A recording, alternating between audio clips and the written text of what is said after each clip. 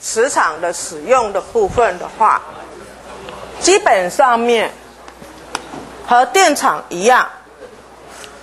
我们在电路上面有三个元件是我们常常用的，这三个元件不管哪个电路，你通通要用到的。一个就是我们的电阻，另外一个就是什么？电容。这是这一磁电场的情况之下，你要储存电能，你就要用电容把它储存起来。那对于磁场呢？你相当也会有一个储存磁能的元件，这个就是我们的电感。OK，所以整个电路啊，就是你 R、C、L 这三个你组合起来，所有的电路元件的部分。好，那在之前我们已经讲过，电阻，电阻呢是跟什么？长度成正比，跟这个截面积成反比，它是跟形状有关系的。然后呢，电容的话呢，它的定义是什么？多少微分之 Q。好，那它是会跟 potential 关，呃，potential difference 有关系吗？跟它所带的 charge 有关系吗？都不会。那它跟什么有关系？哎，也是跟形状有关系，对不对？同样的，现在我们要看到的电感，跟这两个东西也有一样的性质，只不过电感这个东西呀，比它们上面两个更加的复杂。为什么？因为电感呢？它分了两个部分，一个就是质感跟负感。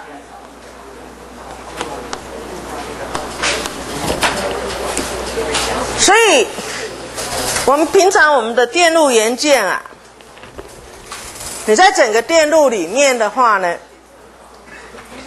不要看我们这个磁场啊，只要你有你有回路的地方，你就会产生磁场。你只要你有产生磁场的地方，你就会什么？会引起其他的感应。那这个感应是什么来的呢？就很简单。我说我现在有一个回路，那这是 C one。那 C one 的回路呢？当然，基本上面我有 flux。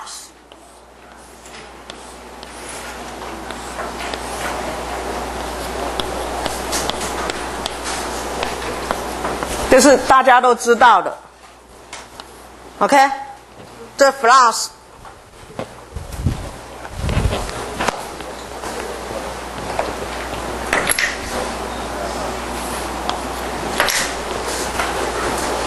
就是单一个回路，你有 flux，那没什么好呃争议的。但是这个 flux 啊，不是。只有影响到他自己而已，其他的回路只要是这个电力线通过的地方，那第二个回路 C two 就会受到这个 flux 的影响。哦，我现在先不要画，免得你们误会。只要有一个回路。这个回路呢，里面可能没有电流，但是只要有 flux 通过它的时候，这个回路就已经什么，已经不是它本身了，就被改变了。那它改变的是什么呢？我们看到，我说 C one 的 current 这个回路里面所带的 I one 的 current。那这个 I one 的 current 呢，产生的是 V one 的场。那这个 V one 的场呢，它在 C two 的回路里面会有一个这个 flux，这个 flux 是因为 C1 所产生的 flux 通过 C2 的回路，所以我说这个 flux 的场来自于什么？C1 所产生的 V1 的，然后 flux 本身的大小是场乘上这个场通过的面积，对不对？面积是谁的？c two 的。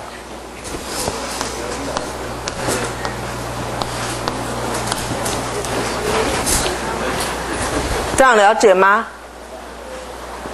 这个不是，这个场不是它自己本身产生的哦，是因为外面的人来干扰它的哦。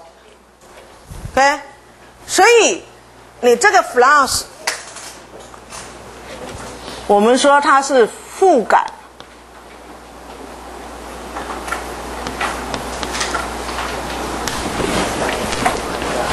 它是负感，好。所以，你现在你就可以知道，就是说，本来磁场啊，磁场是什么？封闭的曲线，对不对？所以它会到无穷远的地方。所以我们现在每一个同学，你只要你身上是有什么，有金属线，然后有一个导线，圈圈圆围起来，你就在接受什么？别人给你的负感。就是 mutual flux。OK，那这个所得到的一个结果，这个得到的结果，我说他得到的结果啊，如果他是 I one 是稳定的话。假设 I one 是稳定的，那就没什么关系，反正它就是稳定的通过它，没关系了。如果 I one 是不稳定的，它是随着时间在改变的，那你这个 flux 就随着时间在改变。那我们在之前，你们在大一普通物理已经学到了，就是说，只要一个回路里面内部的 flux 在改变的时候，它会产生什么感应电动势？那这个感应电动势就会什么产生在这个 C2 上面。所以你可能你根本不知道你发生什么事情，但是你有一个感应电动势产生了，因为是谁？是其他的 source。感应你的，OK，所以对磁学来讲的话，它如果 I two 是时间的啊，I one 是时间的函数，那我们就可以看到，它也是时间的函数，那就会有感应电动势出来。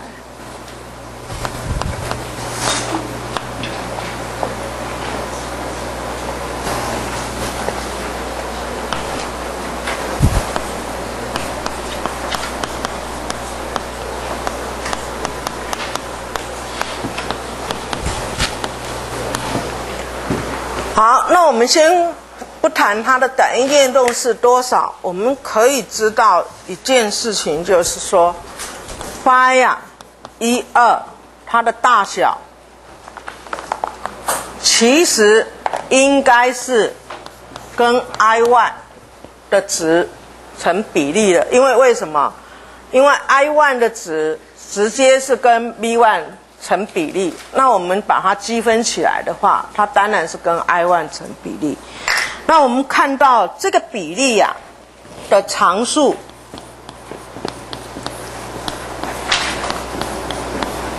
，OK，这个比例常数就是我们所称的负感。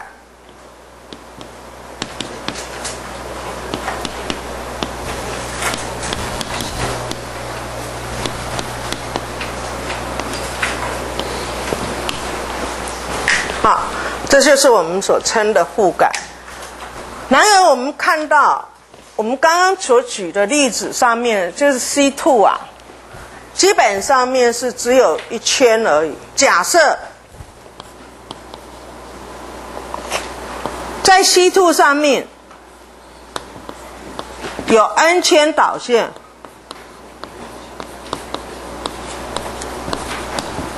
那我们可以看到它的 flux linkage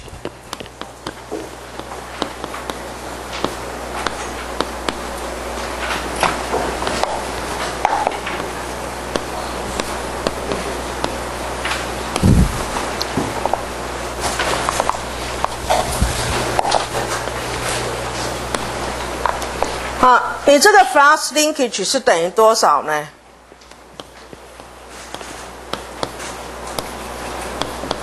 我们说就等于 n two 的 y two，所以我们平常我们把这个 flux linkage 叫做 lambda 一二。换句话说，你现在的 lambda 一二一样的是跟 I one 是成比例。那严格的讲，我们把 flux linkage 对 I one 的比值。就是我们的负感值，也就是说，这是 in general 的。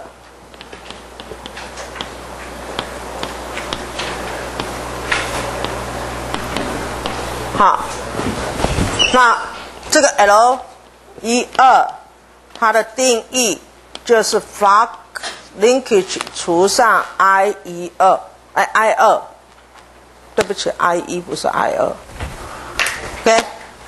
所以我们看到了，这个就是 n two y 一二的 i y，就是我们的互感值。那这个互感值呢，电磁学的问题里面，甚至于电路里面最难处理的，因为。只要有一个回路存在的时候，你从哪里来的 flux 我也不知道，反正我也不能避免。只要我有回路存在，我就不能避免它会穿过我的回路。那不能避免穿过我的回路，我就有感应电动势产生，这是非常非常大的一个问题。好，那再来的部分的话。你现在这个是负感的部分，那我们可以看到一个更啊，in general 的一个定义的部分的话呢，如果我把这个 L 一二的部分呢，我直接就可以把它定义成 lambda 一二跟 I one 之间的这个啊微分值。所以我也可以直接把它写成 n two y 一二 d i one，OK，好，这是另外一个更 general 的定义。那当然这个部分的话是啊，我们常常比较拿来用的，这完全是覆盖。那我们说有可能。我说，有可能的部分就是说，我 Y one 的所产生的东西感应我本身，因为我 Y one，哎 I one 产生的感应了我 C one 上面的东西，影响了我的 C one 上面的东西，那这个部分我们就可以看到了，就是说，我说 total flux 啊。由于 flux 通过 C one 的部分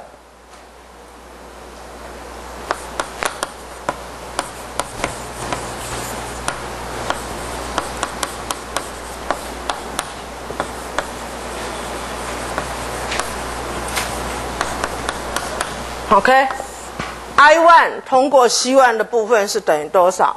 那就是 lambda 一一啊。那就是 n 万。我说有，在这上面有 n 万张。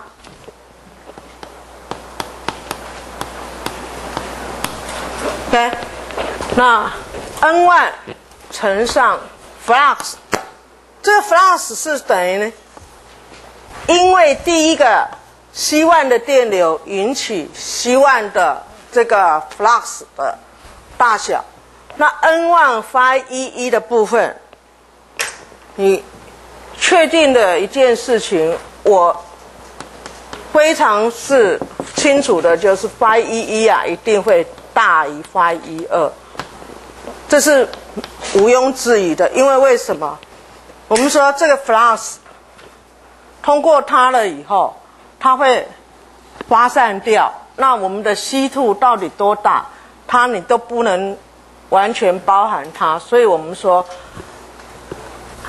phi 一一一定大于 phi 一二，这是没有什么好说的。所以我们可以看到这一项啊。lambda 一一啊，n 万花一一一定大于 n 万的花一二，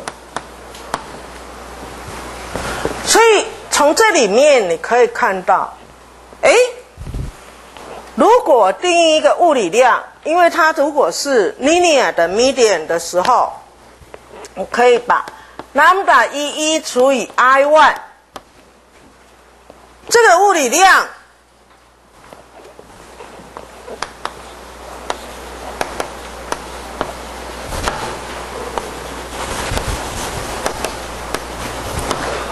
恐怕也是一个不小的值。那我们把这个值定义成质感。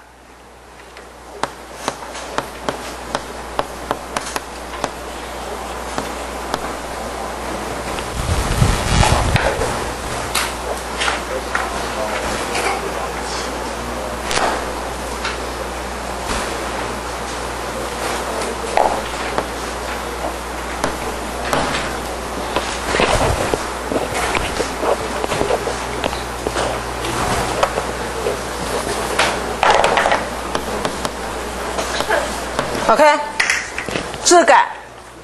那 inductance，你现在你看到的这个这个 self inductance 的部分的话是什么？为什么它重要？就是说我原来我 I one 如果在很稳定的，那它的 flux 就就稳定了。当 I one 改变的时候，我这上面。的 flux 也会随着 I one 改变，那也会产生一个感应电动势。那这个感应电动势产生在哪里？产生在这个 flux，呃，在这个 I one 的 current 上面会影响的。所以你在讨论 flux 的 linkage 的部分，你不止有负感的部分，你也必须把质感的部分。拿来讨论。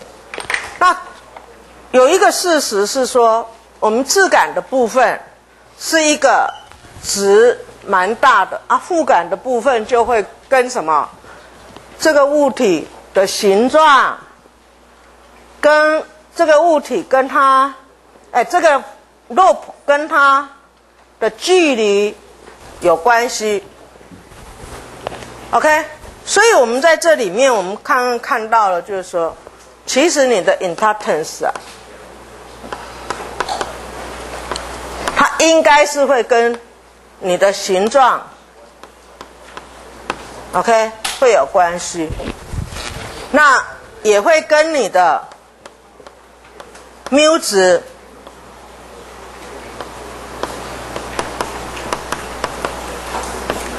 有关系。然后你怎么安排这两个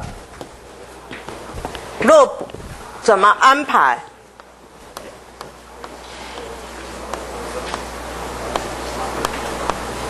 你的空间怎么安排的部分也会应该有关系，这是你可以想象得到的。那我们接着我们后面的部分，我们就会来看一下我怎么去把我们的 importance 把它计算出来，这是我们接着我们要探讨的主题。好，